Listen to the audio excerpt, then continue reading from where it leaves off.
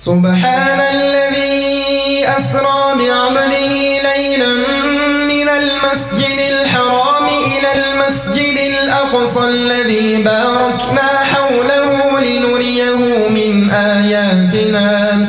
إنه هو السميع البصير. وآتينا موسى الكتاب وجعلناه هدى لبني إسرائيل. ألا تتخذوا من دوني وكيلا. ذرية من حملنا مع نوح إنه كان عبدا شكورا. وقضينا إلى بني إسرائيل في الكتاب لتفسدن في الأرض مرتين ولتعلن علوا.